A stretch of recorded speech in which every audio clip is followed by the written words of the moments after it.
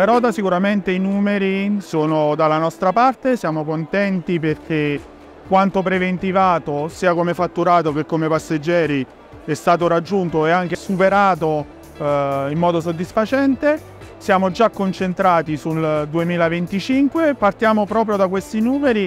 perché hanno portato un incremento tra il 4 e il 7% su una previsione basata intorno al 3%. Soprattutto per i fornitori, quindi per gli albergatori sono contenti del rapporto con, con Otaviaggi e con eh, lo sviluppo che abbiamo in previsione per i prossimi tre anni.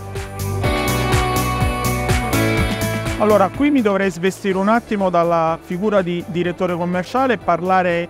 in quanto massimo facente parte del, del, del sistema turismo in Italia, soprattutto nel sistema fatto tra albergatore, tour operator, agenzia di viaggio e cliente. Non può essere più la leva del prezzo, la scelta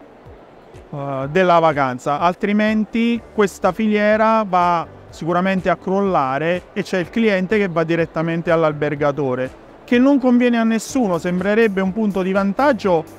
ma fondamentalmente, signori, ne va del, anche della garanzia del cliente, ne va della sua vacanza, ne va del, soprattutto nella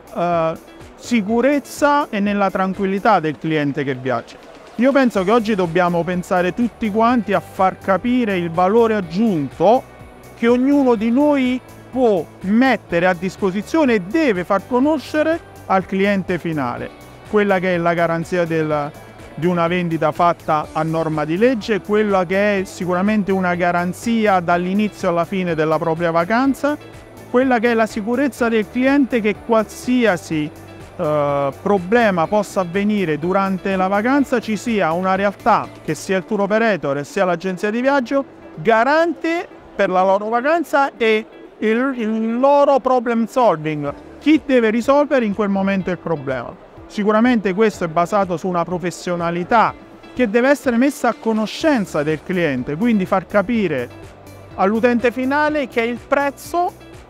non è l'unico fattore, ma bensì oggi deve essere una sicurezza di vacanza, una vacanza garantita dalle varie filiere e soprattutto dalla professionalità di chi opera nelle nostre aziende.